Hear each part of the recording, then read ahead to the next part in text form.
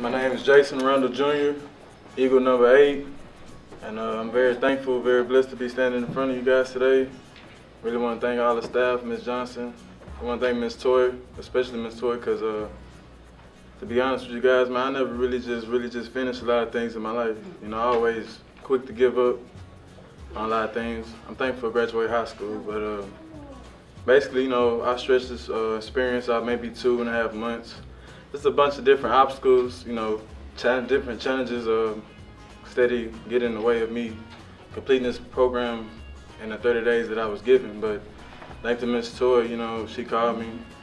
And I had already had in my mindset that I was gonna quit this program and I was just gonna pay out of pocket. You know, I've been thankful even though I've been in prison and just getting out, you know, I've been uh, blessed to, you know, have employment full time.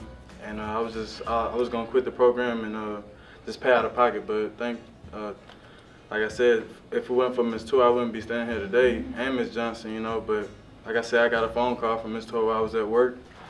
I normally don't answer my phone at work. Luckily, I answered my phone, and she told me, hey, you know, the opportunity is here. If, if you want to come back and, you know, do all the classes, man, you can graduate this week. So, like I said, I'm, I'm very thankful. I'm blessed.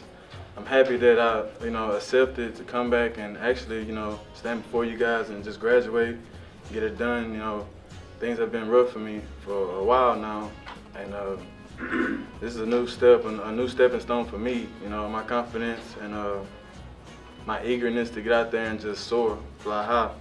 So, like I said, I'm thankful for Horizon Outreach, and I'm just happy and blessed and ready to get to work, ready to get this money, provide for my kids, man. This money, this money.